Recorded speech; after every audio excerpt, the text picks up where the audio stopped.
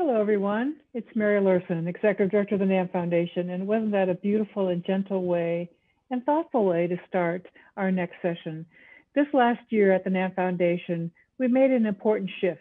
And we made a shift into the realities that music has a stronger voice to play in our social justice conversations.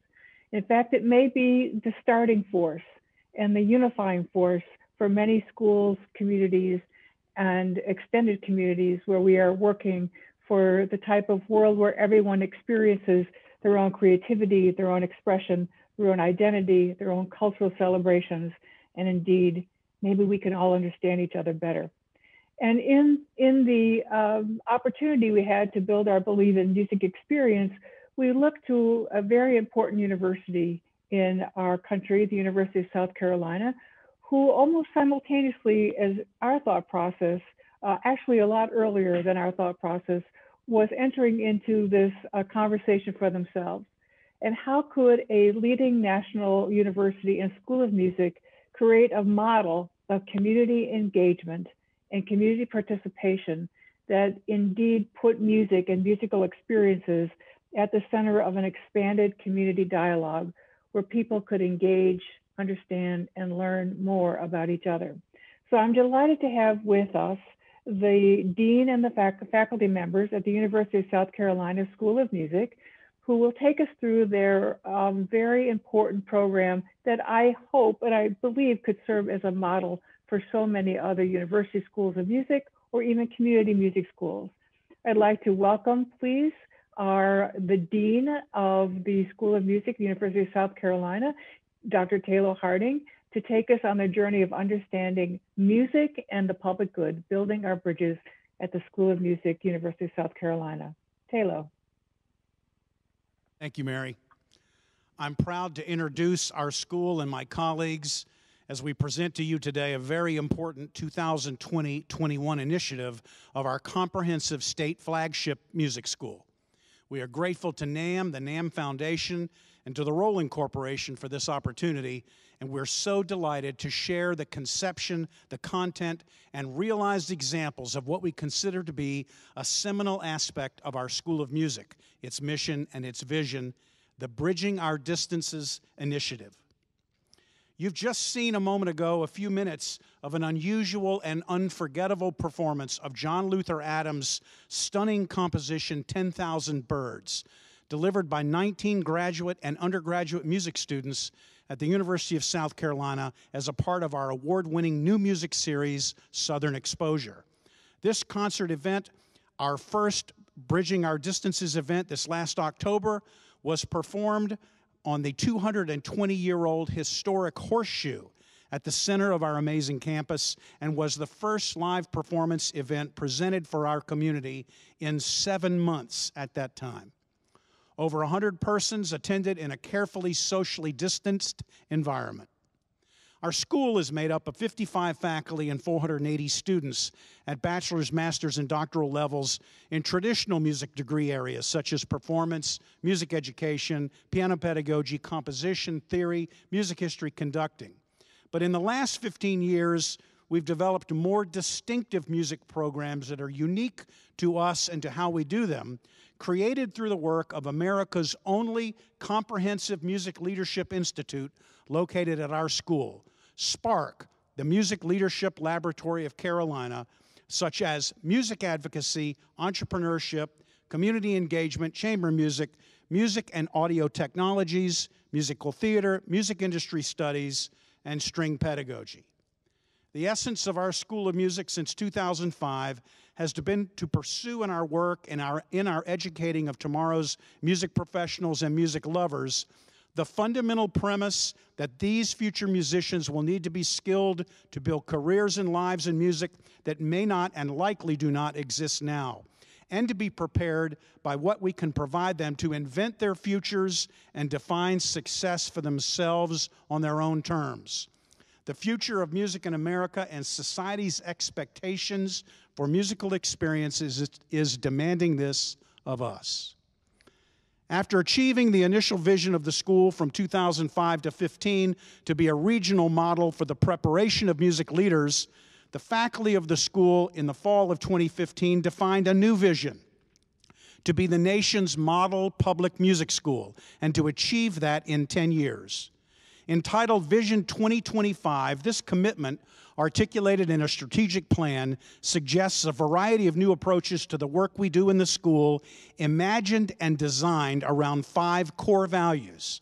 The first two we consider are conventional values that we execute uniquely pursuing excellence and assuring student success. And then we have three more of these five values that we consider to be our distinctive values, those that separate us creating music leaders, preparing outstanding musician educators, and developing diversely skilled musicians. We manifest these values in all that we do and many new initiatives and activities, including new curricula, concentrations, minors, ensembles, graduate and undergraduate scholarship and assistantship positions, summer institutes, national symposia, and others. And others also that will come up as we present the Bridging of Our Distances initiative to you today. The most essential of these to achieving the vision of being the model public music school by 2025 is to actualize the principle of using music to improve the public good and advance social justice. We pursue that goal by forming and implementing impactful community engagement programs that we call Music for Your Life. These programs are designed and delivered to assure that the public benefits in multiple ways by the advancement of music and music making opportunities into their neighborhoods and into their walks of life that promote happiness, personal fulfillment, and hope. Not only in those citizens, but also in our School of Music students. When collegiate music students are immersed into community engagement activities like these, their learning through the process becomes not only hands on, but complete, where the ideas, means, and ends of human enrichment are realized together in real time with audiences and other participants. We have many community engagement initiatives like the eight or so Music for Your Life programs among the constellation of School of Music initiatives but none is poised to do more to propel our mission and enrich both of us in the school and the members of our community than the Bridging Our Distances initiative. This was formed and launched in September of 2020 to number one, unite those of us in our society isolated by the pandemic. Number two, to amplify the voices of those whose voices are traditionally underrepresented, undervalued, or unheard. Number three, to celebrate the heroes among us that risk so much to keep us all safe and healthy. And number four, to help us articulate to the world what we know is important in our future to continue this work and to expand it as our society requires it.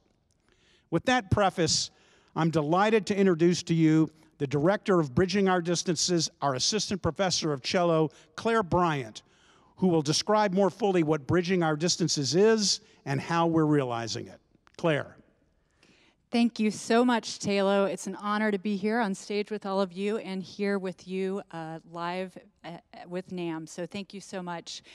Bridging Our Distances is the U of SC School of Music's response to social justice and public health crises we have all been facing together in separation as a society this past year. The design of this broad initiative was for us to reinvigorate our purpose as an institution made up of artist citizens within and beyond the concert hall, seeking meaningful ways of connecting with each other and with our surrounding campus and civic communities through the act of sharing music in this difficult time of isolation and disengagement. A summer task force made up of students, faculty, and staff identified four bridges or four distinct areas, as Tayloe was mentioning before. And we agreed that all of these needed the immediate attention and energy during this challenging time. I'd love to go over those again. Our first one is Unite Communities. We commit to actively sharing music with a wider cross section of society, transcending the traditional concert hall aiming to repair, strengthen, and unite the communities in which we live. Amplify voices. We commit to programming music that amplifies underrepresented voices. Celebrate heroes. We commit to celebrating the unsung heroes who selflessly place themselves on the front lines of the pandemic, reminded that their daily efforts generate the pulse of our society. Spur our future. We commit to spurring forward into the future by activating an array of possibilities rather than relying on past assumptions. In our rapidly changing world, we must help to bridge new paths for our students in response to the world around us.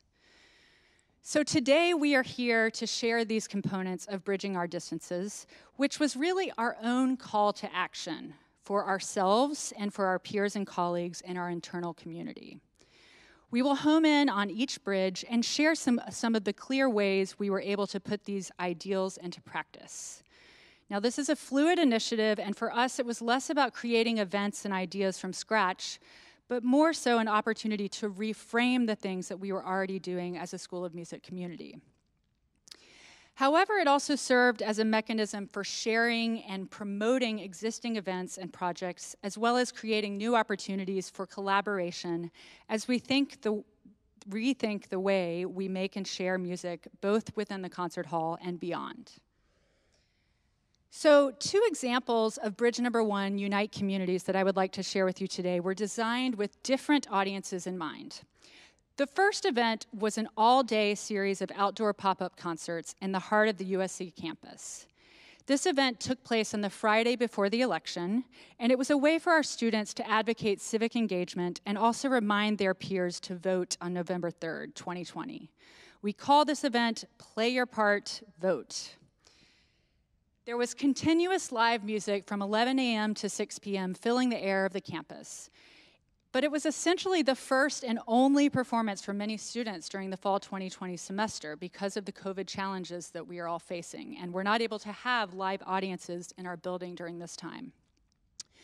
The lineup was multi genre, from soloist to swing band, and you'll see we had a cello ensemble, we had a woodwind quartet, uh, solo vocalists had the chance to perform. And we had local media attend, and students had the chance to speak to them and tell them why we were doing this. And uh, student government set up advocacy tables so that students could actually figure out where their polling places were all in all, it was a really, really great day. And uh, the second example I will share with you is was from a three-day residency on a mobile concert hall called, appropriately, the Concert Truck, which was created by two U of SC School of Music alumni. We gave three performances in the community on the concert truck one at the zoo, one at an outdoor farmer's market, and one at a public school, which you can see here, called the Midlands Arts Conservatory, or MAC. Two U of SC student chamber music ensembles prepared scripted interactive performances for seventh through ninth graders around musical entry points they came up with based on the pieces that they were to perform. You'll see that we were set up in the school parking lot. There were about 50 students and teachers in attendance wearing face coverings and seated six feet apart, but there were also about 100 students attending the performance on Zoom. The first group from USC to perform was a violin cello duo, and they chose the entry point musical texture. And throughout the performance, and by way of engaging activities and unpacking sections of the music, the duo successfully introduced the advanced musical concepts of monophony, homophony, and polyphony. Let's hear an, an excerpt from that day now. All right, now next we're going to discuss homophony. Homophony is a little bit more complex it's melody and accompaniment, or chords that are supporting a melodic line. So listen to this example from another one of Glier's mini pieces, and see if you can figure out which one of us has the melodic line and who is the supporting line. who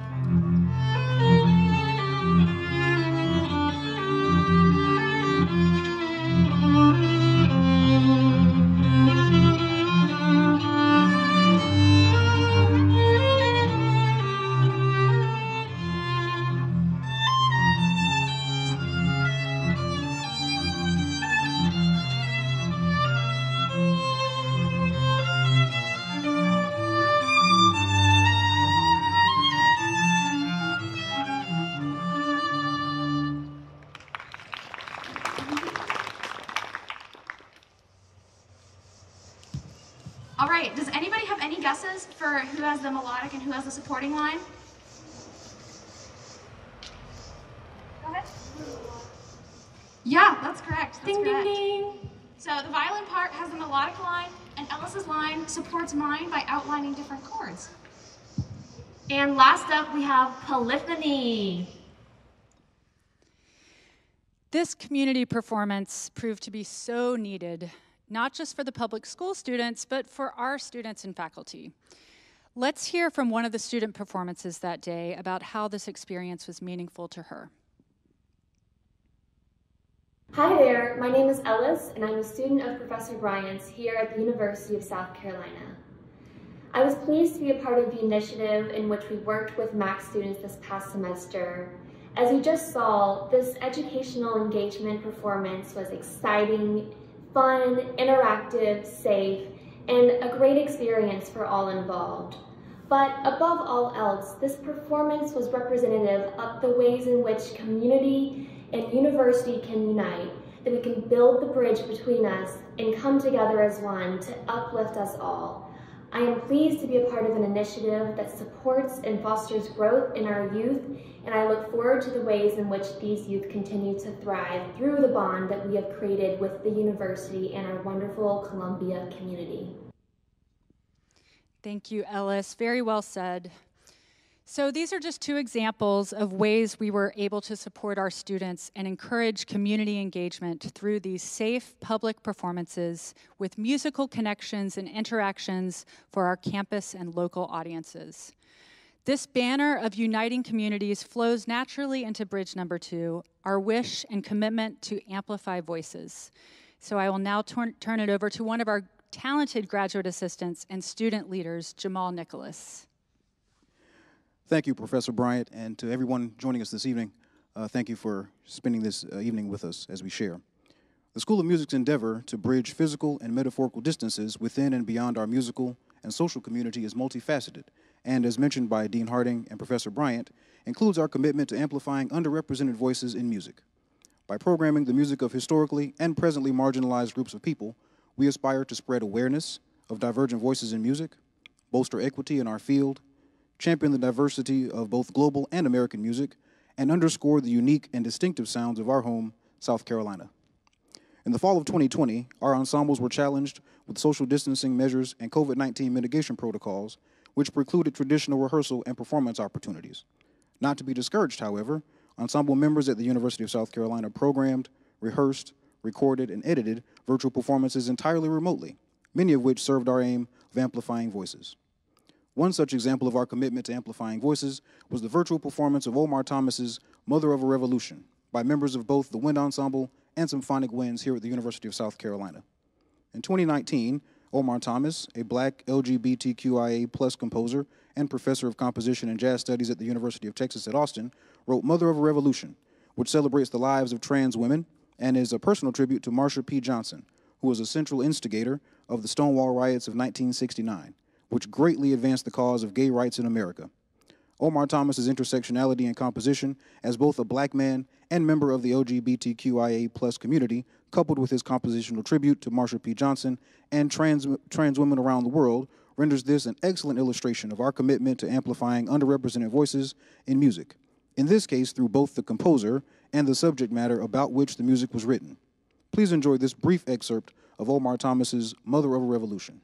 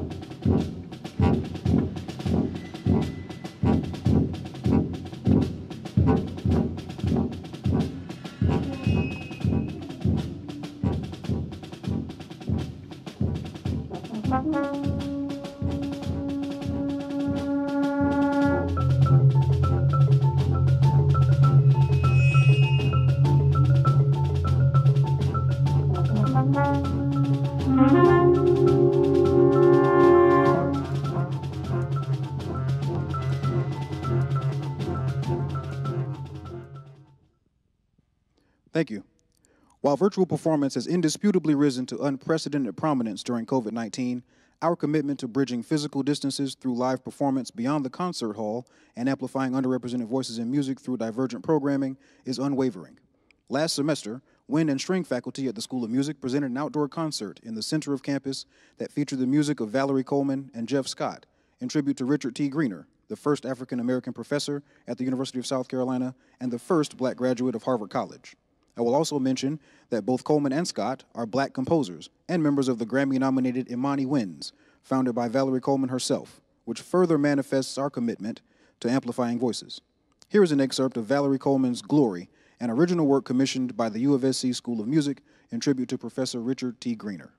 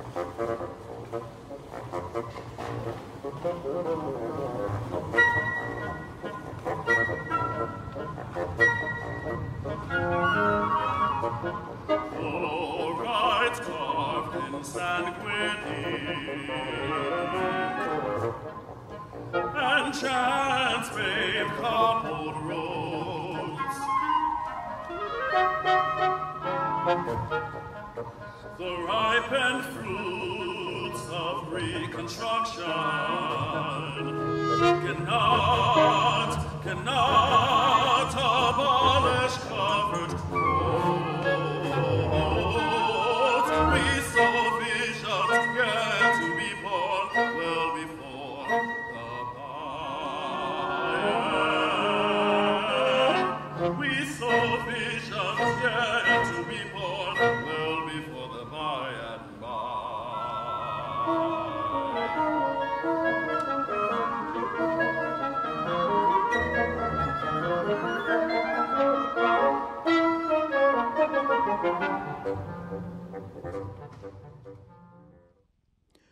This outdoor concert served dual functions, both as an amplifier for marginalized voices and as a tribute to the often unsung heroes, healthcare professionals, and essential workers who have kept us healthy and our society operating amid a global health crisis, but who do not always re receive the recognition they so richly deserve. Our celebration of these treasured heroes is reflected in both our efforts to create safe concert experiences and in more direct efforts to acknowledge and applaud their selfless and tireless work, without which we would not be able to continue creating and sharing music. That said, it is now my pleasure to introduce my colleague Blair Mothersbaugh, who will share more details of our third bridge, Celebrate Heroes. Thank you, Jamaal, and thank you to everyone joining us here this evening. As Jamaal said, my name is Blair Mothersbaugh, and I'm a graduate assistant here in the Spark Music Leadership Laboratory and the Music Entrepreneurship Program. What Jamaal was just saying is absolutely correct. This past year or so, we've really seen those people and those professions that make our society run and that are essential to our society particularly since our states and our society started opening up again and trying to find what this new normal is, they've become all the more essential. So, our team in the entrepreneurship program sat down at the start of the year and really over the summer, even, and we thought about okay, how can we recognize these people? How can we elevate their stories and their voices so that they're better heard, they're better understood, and better appreciated? We thought of all sorts of possibilities uh, benefit concert of some sort, concerts with specific dedications, a more inclusive and programmatic approach to repertoire for our ensembles. But really, what we ended up running into every time, the problem was traditionally, most music events are held indoors. The audience comes to us in a space, something like this a recital hall, a concert hall. Obviously, that's not an option right now, not in this time that we're in, not in this new normal. So we were faced with okay, how do we do this safely so that the impact is still felt, but without jeopardizing the very people and the very professions that we're trying to elevate and trying to celebrate? And eventually, this video shows what we came up with.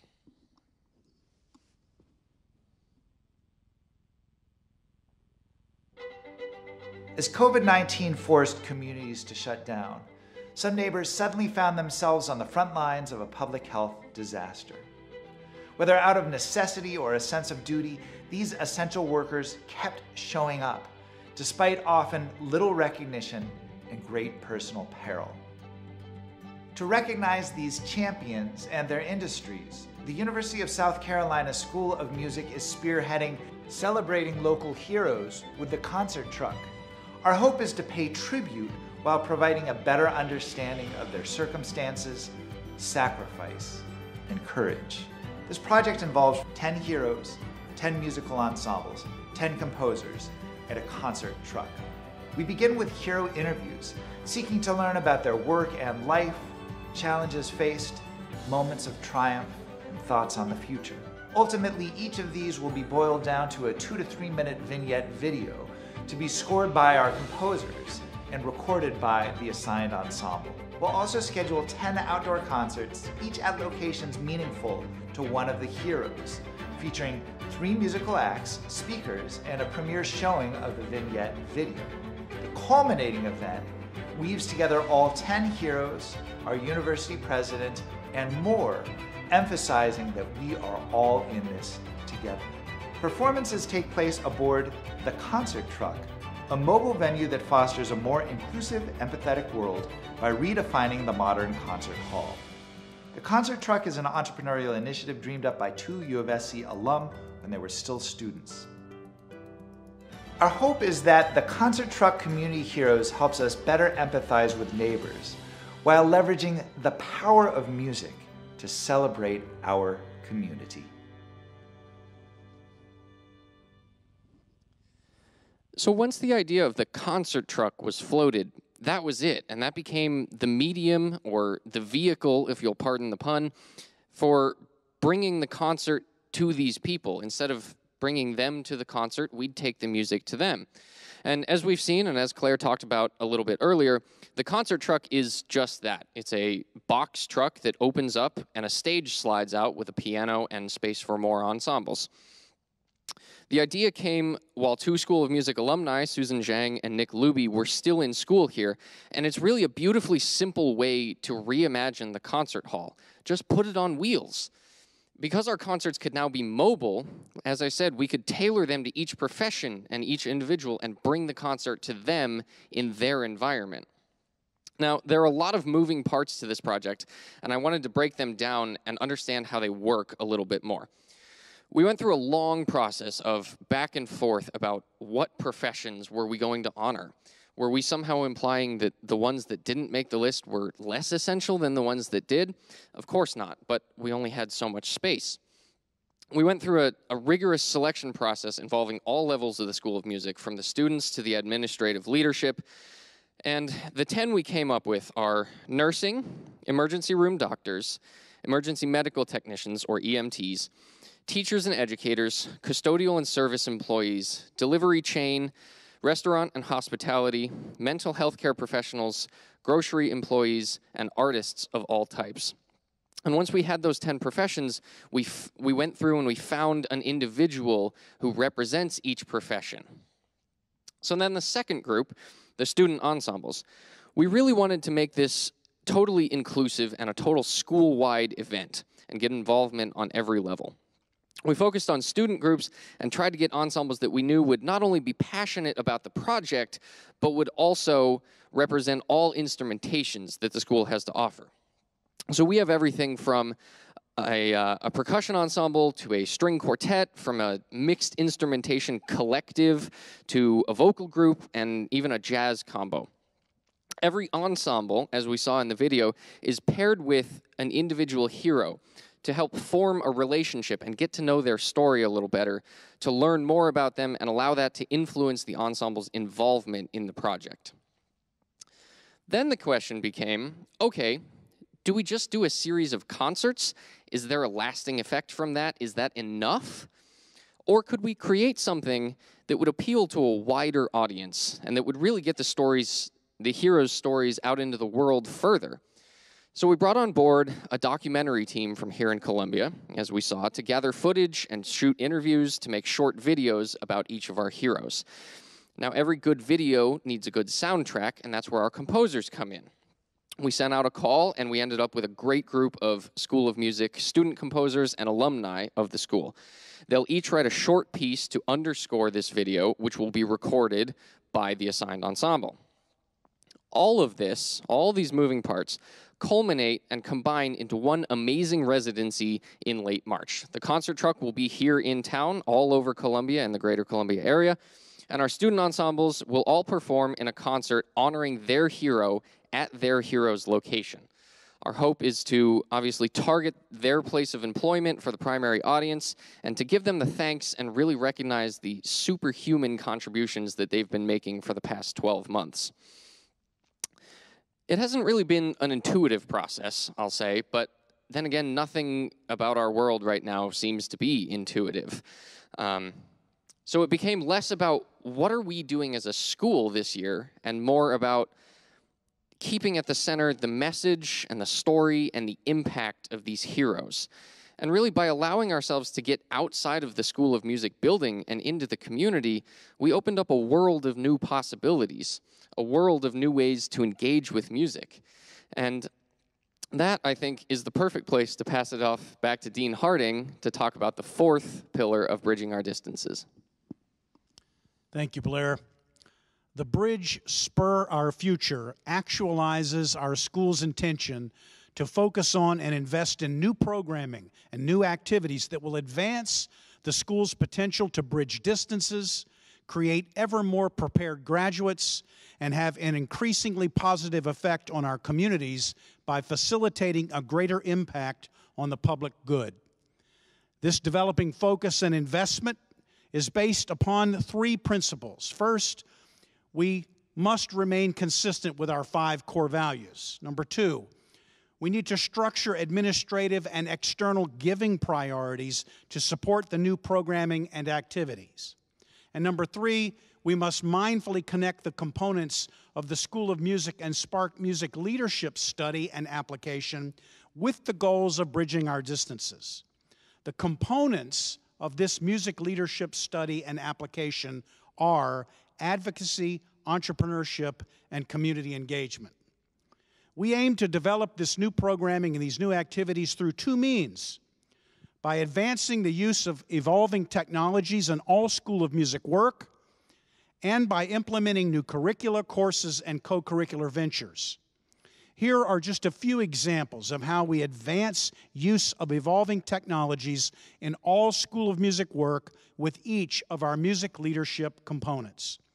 With advocacy, we now provide distance education applications so that students can have the opportunity to engage in national policy discussions and debates with experts and legislators. Just two days ago, on the Coalition of Coalitions meeting webinar at Believe in Music Week at NAMM, we had several of our students engaging with that through distance education applications right here in Columbia. For entrepreneurship, we are designing live performance activities for professional and amateur music making utilizing established online platforms, Jamulus, JamKazam, Soundtrap, and doing it in real time. With community engagement, the use of the Disklavier and other interactive instrumental devices has become paramount and central to much of what we do in the school. These photos that we have right here of the use of the Disklavier uh, manifest a, a variety of different ways that that particular interactive instrument can benefit all sorts of populations musically. We use it in many ways, but in two very startling ways as it relates to spurring our future in the Bridging Our Distances initiative. One is through piano pedagogy online to different locations around the world with pianos that can talk to each other in real time. And another where we actually use the instrument as a performance instrument located in one room in our building, but piped into this very recital hall as an accompanying instrument for students that are giving recitals without an accompanist right next to them. We have some examples of new curricular courses and co curricular adventures as well. In advocacy, Student, faculty, and alumni participation in school sponsored state and neighborhood policy making actions are advanced through two new advocacy courses in our curriculum. Here are a couple of photos of students and faculty engaging in some of that neighborhood and state policy making action advocacy on behalf of the power of music and music education. With respect to entrepreneurship, we have something now called supplemental applied instruction that's a part of each of our new degree concentrations. Supplemental applied instruction is where students in these degree concentrations register not only for their primary performing medium, voice or instrument, but they also register for a secondary applied, a supplemental applied, one semester out of their time in their program, and take a half hour lesson each week or two hour lessons every other week, either one on one or sometimes in small class settings, with a member of our faculty who's teaching a topic of their interest and specialty that goes beyond their own instrumental or vocal applied teaching. And some of the examples of that are advanced breathing techniques, uh, experimental improvisation, mindfulness in practice, advanced microtonality and intonation techniques, the founding and sustaining of new music ensembles, and then one that is not uncommon among young people today, all over the country, all over the world, who are learning how to turn their own musical skills into not just making music by themselves, but by using looping technologies to make a whole band by themselves live and in real time. We have students here that do that too. But we have one whose video I would like to show you now a doctoral oboe student named Pedro Falcone, who's using what he learned in supplemental applied instruction from our bass professor, Craig Butterfield, who teaches supplemental applied in looping techniques to build this quite stunning arrangement of a Venezuelan gabon for a whole band, all of the creation of Pedro's in real time with a looping machine.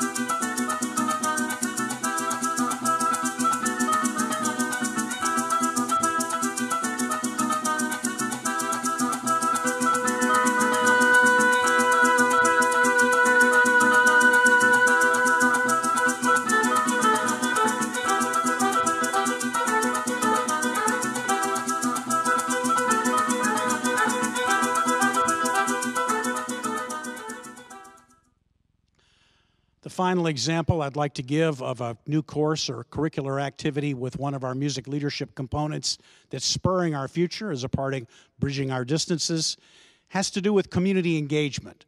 Our Spark led grant programs for faculty and students to design and implement new one time events or new ongoing endeavors that realize the principles of each of the first three bridges are being sustained as a part of our effort.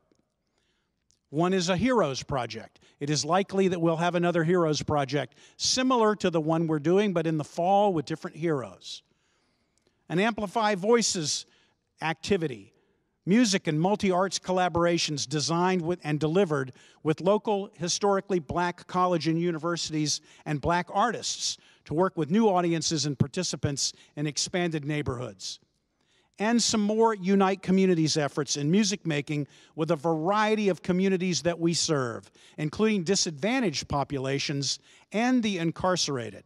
Like our program with Lee Correctional Institution, you will see now as I pass the mic off to all three of my colleagues. Thank you, Tayloe.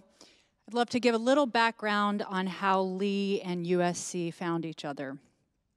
Before I joined the U of SC faculty in the fall of 2019, a chamber music collective I co founded called Decoda had established an annual collaborative songwriting program at South Carolina's largest maximum security prison, Lee Correctional Institution in Bishopville, South Carolina. The men living in the character based dorm at Lee run their own music program. And over the past eight years, Decoda has been able to help shine a light on their accomplishments by presenting week long collaborative songwriting workshops that have yielded over 175 original songs of multi genre. And three of their songs, Decoda even performed at the White House in 2015 at an event entitled Innovation and the Arts Prison Reform and Reentry in the 21st Century. Decoda, though, has not been able to supply the vital supplementary curriculum, support, and engagement throughout the year as the ensemble is not physically based in South Carolina. So I approached Tayloe a few years ago about the possibility of the School of Music becoming a partner to the prison's music program. And being the person that Tayloe is and the leader that he is, he said yes and immediately committed two of our esteemed faculty to the project Professor of Oboe and Associate Dean for Community Engagement and Experiential Learning, Rebecca Nagel, and Associate Professor of Music Theory, Danny Jenkins. Over the past four years, the School of Music has offered distance learning courses at the prison in areas of beginning music theory, advanced music theory, composition, and vocal skills. In addition, some, of, some U of SC students have participated in songwriting workshops with the residents at Lee.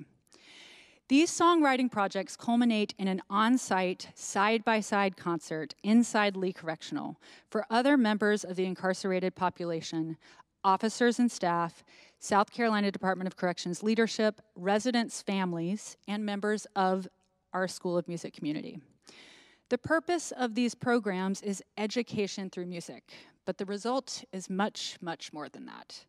It is a powerful and transformative union for the incarcerated participants, the correctional officers and sta- staff, and for our students and faculty. I think it goes without saying to all of you that music has powers which transcend the tangible. Both Jamaal and Blair have had the opportunity to make and perform music with the residents and, and musicians at Lee. And I'd love to ask Jamaal if he would be willing to share uh, how that experience was for you. Yes, absolutely. It was a fantastic experience and it was positively transcendent uh, to your point. You know, that section of the population, uh, members, uh, residents at a correctional facility, is not one with which I have much familiarity, but it was especially powerful for me to see that they are individuals with unique experience and talents and uh, perspectives on life that uh, we don't often get to experience and share with and interact with. So it was powerful for me just to be there and, and get to see them for the humans that they are. Um, and I, I, think I got as much, uh, at least, if not more, than they got out of it with, uh, for us being there. Uh, my most salient memory of, of the experience was one with uh, one of the residents named King, who, after he observed us perform Mozart's Serenade Number 12, came up to me after and said, you know, I've never seen a black man doing that. I've never seen a black man conducting like that. And that was really special and transformative and powerful for me to experience that. Thank you, Jamaal. Um, thanks for sharing that powerful story and your experience with us. And it's a necessary reminder that the arts have a tremendous impact on our communities and are vital for all of us, but especially to those who are forgotten by our society and are desperately seeking reform, the human connection, empathy, and hope. So, we would like to share with you two very short audio excerpts from a recent songwriting project led by members of our faculty. U of SC students from theory classes and concert, the concert band worked remotely with the Lee musicians for an entire semester to create new songs based on Leonard Bernstein's Mass. The first excerpt exhibits the guts that it takes to try something new, whether you are new to music or a veteran of music. And you're going to hear a rendition of the Soli Deo Gloria, written and performed by the incarcerated musicians alongside U of SC students. And what you'll hear is a, a, a Lee resident rapping for the first time, and then the second verse is a U of SC student spitting a verse for the first time. Let us hear an excerpt from Soli Deo Gloria.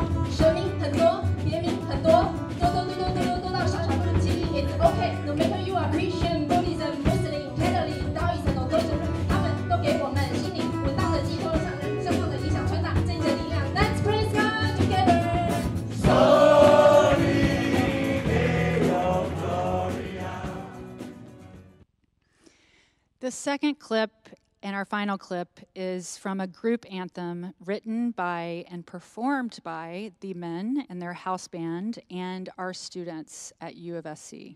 And it's called We Are Not Ashamed. And I think it really conveys the sense of unity, togetherness, and understanding this partnership cultivates.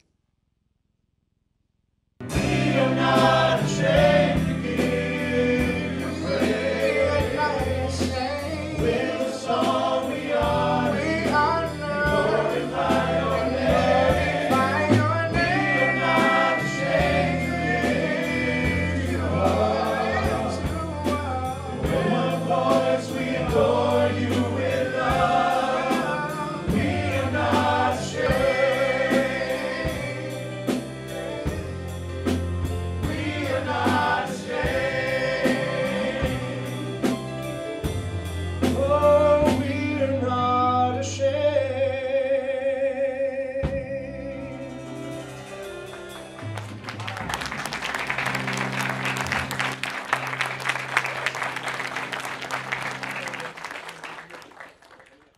Thank you, Claire. I'd like to finish our presentation by making sure I say two important things. First, I wish to again thank my partners on the stage here this afternoon, Claire and Jamaal and Blair. I'd like to thank NAMM and the NAMM Foundation, my colleague Mary Luehrsen, Claire Krager Boaz, and their staff, and our generous and visionary sponsor, the Roland Corporation. I offer my sincere and enduring appreciation to all our folks here at South Carolina that have helped put all of this production and the Bridging Our Distances initiative itself together. Our faculty, our staff, our fantastic students, our donors, and most especially the personnel in our Spark Music Leadership Lab.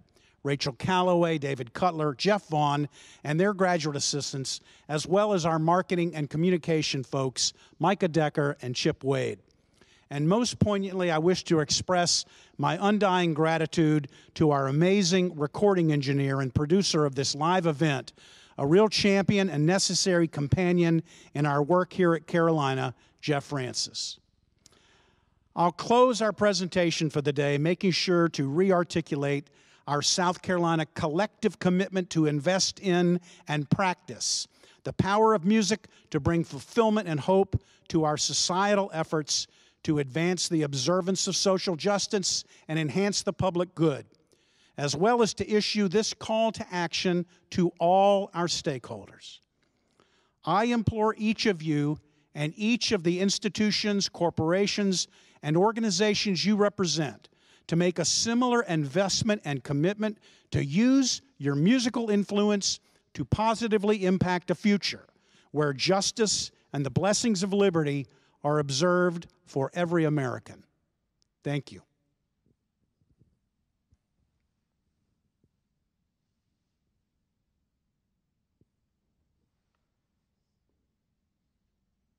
Stage at the uh, at the recital hall at the University of South Carolina. And Tayloe, I want I want that last comment to just breathe a moment um, because what you've provided for us is such a comprehensive example of, of hard work in this area. So we're going to take a few minutes. Uh, we have about 12 minutes together, and uh, we're getting some questions across the transom, and I'd love to uh, ask ask um, ask a few questions. So um, I'll start out by you are all, uh, uh, as the dean, a faculty member, and graduate students. How do you think a program, this bridging bridging our distances program, or maybe there would be other programs and other school of music that has these elements? How do you think this program will change the experience of the music students coming through your doors? How do you think they will enter into their study knowing that this uh, your environment and your purpose has has expanded in this way. I'd welcome any any of you to jump in with your thoughts. I'm going to speak first, but only to point to some someone else to speak because I when this kind of question gets asked. Um, the last thing we need is to have the old people set out the expectations and then ask the young people to figure out whether or not they're meeting them. So I'm going to just say that I want to hear from Blair and Jamaal and Claire too on that incredibly wonderful question, Mary. I'll jump in, I guess. Um, I guess the best way that I could say this is I noticed right away, I'm at the end of my second year here at USC, and I noticed right away within the first month or so that I was here starting my degree that everything I was working on in all my classes, in my lessons, my ensembles, it all had a direct application somewhere out in the world. It wasn't just, oh, I'm going to put together a recital or a concert and then sit on stage and have an audience come see it. And there is merit in that, don't get me wrong, that there are wonderful things that come from that, and there's merit and truth in that. But everything that I ended up doing and everything that was presented to me had this component out there in the real world somewhere. So I was immediately working with and affecting and being affected by other people outside the School of Music. Um, and I think that that ties into the spur our future very nicely is that the future is not in the building. The future is out there wherever we wherever we make it and with who, whomever we make the future. If I could just follow up, Blair, with you uh, for a moment. Um, so, in your study, then, was this an unexpected turn? It in, was in unexpected. Essence? How much to the degree was unexpected. To what degree it was happening, um, and we were talking about this a little bit before the session started.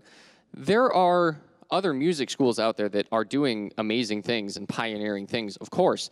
But, and maybe we're a little biased because we're all here at USC, but it doesn't it doesn't seem and to me starting my degree it didn't seem like anybody else was doing the number of things and the scope and the breadth and the depth of things that we are here at Carolina. And that's really what blew me away is that there was ev- around every corner and in every conversation there was a new opportunity and a new project and a new thing to go chase out there in the world. So i think what really surprised me was how much it was happening not that it was happening at all so it sounds to me like it really expanded your horizons about what was possible. Oh absolutely. And is still expanding and, my horizons. And i think that goes back to the basic question. I'd love to hear from Jamaal too on that question.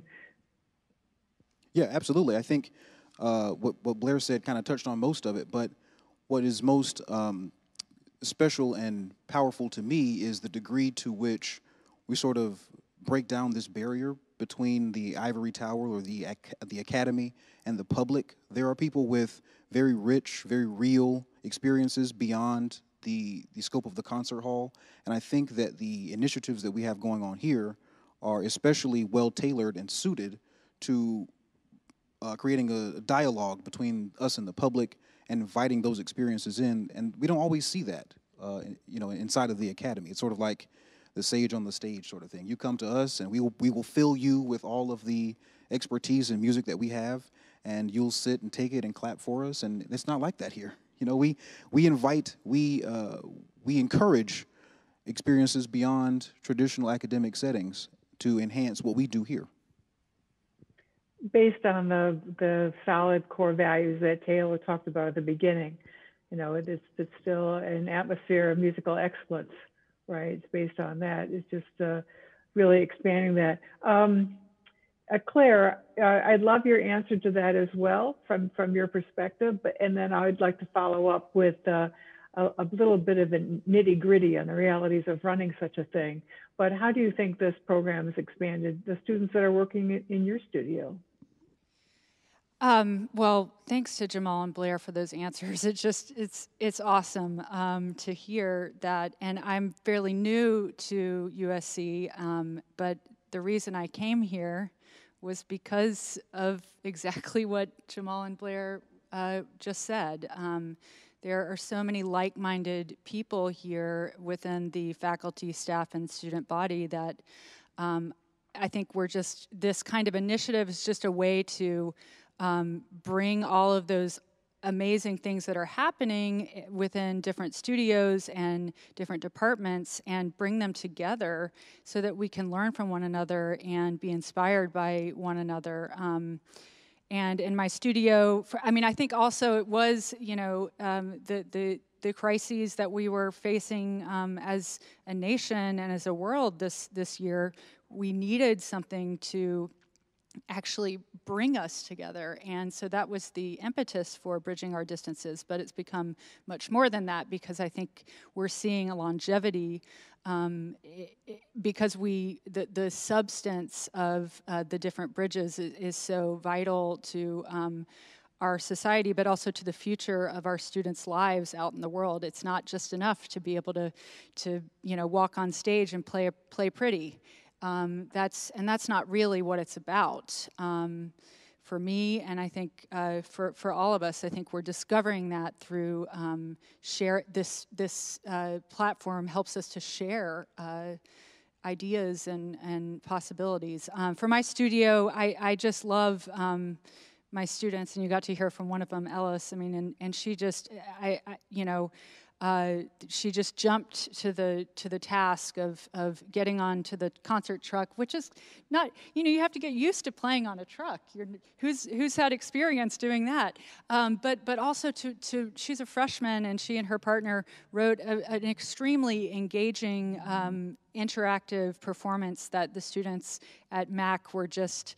Um, having so much fun with and, and right away creating that relationship the fourth wall is gone. Um, so I just couldn't be more pleased uh, to be where I am um, today.